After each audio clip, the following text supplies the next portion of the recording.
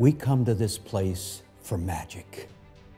We come to AMC theaters to laugh, to cry, to feel something, because we need that.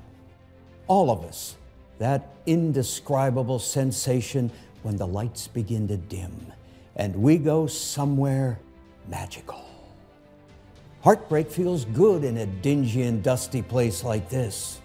Why stay home to watch a movie when you can see it here, where your feet stick to the floor? Here we make you forget your life sucks by blasting loud noises and flickering lights straight into your noggin. This is the theater. This is AMC.